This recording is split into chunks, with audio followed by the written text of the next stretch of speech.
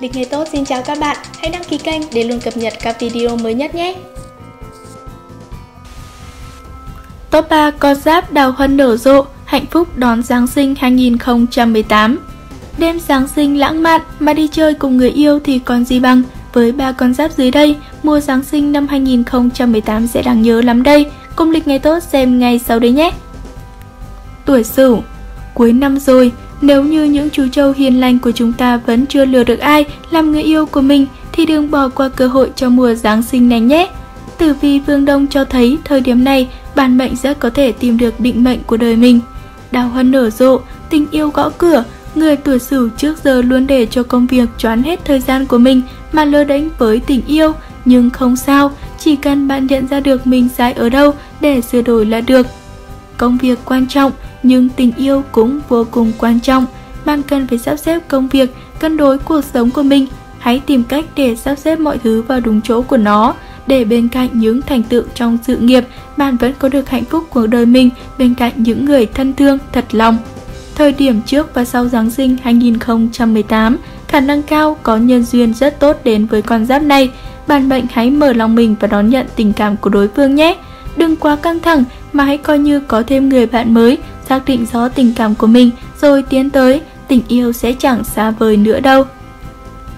Tuổi ngọ Những chú ngựa vốn ham mê tự do, có người sớm đã bị tình yêu trói chặt đôi chân, nhưng cũng có những người trốn thoát khỏi vòng vây xoáy của tình yêu để ngao du thiên hạ. Nhưng giờ thì muốn dừng chân lại, chẳng biết tìm kiếm đâu một người làm hậu vương cho mình. Nhưng tuổi ngọ đừng quá lo lắng nhé, bởi lễ Giáng sinh 2018 là thời điểm cực kỳ tốt để bạn cải thiện tình cảm độc thân của mình. Đào hoa vượng đang đến rất nhiều với nhiều cơ hội, còn giáp này tiếp xúc với những người khác phái cũng cho tuổi ngọ cơ hội để thể hiện sức quyến rũ tự nhiên của mình. Bạn hãy cứ là chính bản thân mình, sức hút cá nhân tăng vọt sẽ khiến cho đối phương chẳng thể kìm được lòng mình mà chủ động theo đuổi ngay thôi. Việc có gấu đi chơi Giáng sinh hay không hoàn toàn là do tự quyết của con giáp này mà thôi. Tuổi thìn Những chú rồng trời sinh đã có sức hút riêng biệt, nhưng có lẽ vì cái tôi quá lớn cùng tham vọng gây dựng sự nghiệp mà có nhiều bạn vẫn chưa thực sự bước chân vào lâu đài tình ái. Nếu bắt đầu thấy sốt ruột khi chưa có người yêu cùng đi chơi dịp Noel này thì gửi thìn hãy tích cực, chủ động tìm kiếm tình yêu đi nhé. Thực ra không cần phải quá lo lắng đâu, bởi thực tế là thời điểm trước và sau Giáng sinh năm nay, bạn mệnh sẽ có đào hoa vận khá lý tưởng, tình yêu mà bạn mong chờ đã lâu rồi sẽ đến ngay thôi. Thời điểm này sẽ có nhiều mối quan hệ mở ra trước mắt người tuổi thìn, tuy nhiên nếu đã xác định đi đến hôn nhân thì bản mệnh chớ nên được hay chăng chớ, lựa chọn một cách phù phiếm nữa.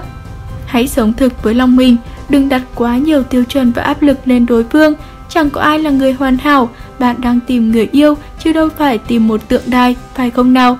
Hãy tìm một người tâm đầu ý hợp với mình để tình yêu nồng nàn cháy bỏng giữa ngày đông, để sau này không phải hối hận vì đã không cháy hết mình vì tình yêu. Cảm ơn các bạn đã theo dõi chương trình của Lịch Ngày Tốt. Chúc các bạn gặp nhiều may mắn, hạnh phúc và thành công trong cuộc sống. Đừng quên đăng ký kênh để luôn cập nhật các video mới nhất nhé. Hẹn gặp lại các bạn trong những chương trình lần sau.